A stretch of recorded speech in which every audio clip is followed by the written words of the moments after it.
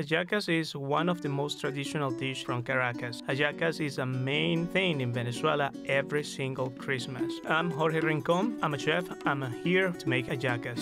This recipe is a traditional hallacas from Caracas. Every single December, every family in Venezuela try to make hallacas. There's no better hallacas.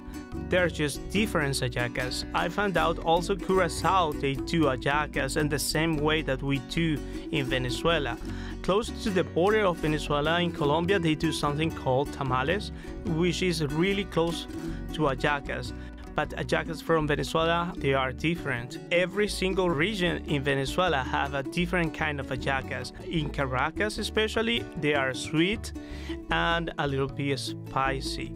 You have to prepare the stew in advance because it's a process that you have to try to make one day before and everyone in the family is involved to make hallacas. People start trading hallacas with uh, other families and everyone has a part of the assembly line of the hallacas.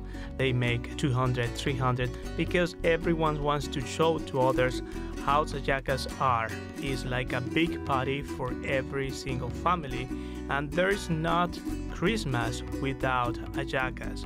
Hallacas is a main thing in Venezuela every single Christmas.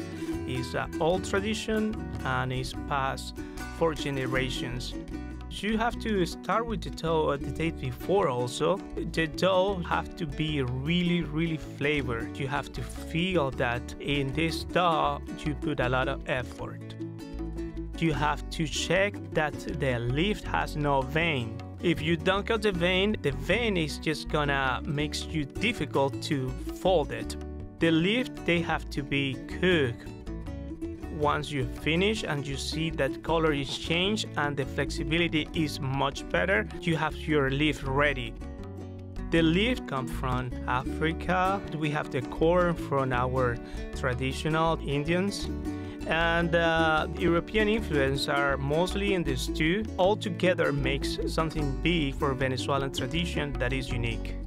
The giardiniera mixed with a little Dijon mustard something that you never expect there, but it's another explosion in your mouth with these flavors.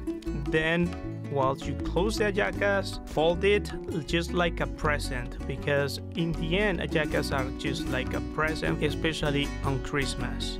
We wrap it just like a present, give it away just like a present.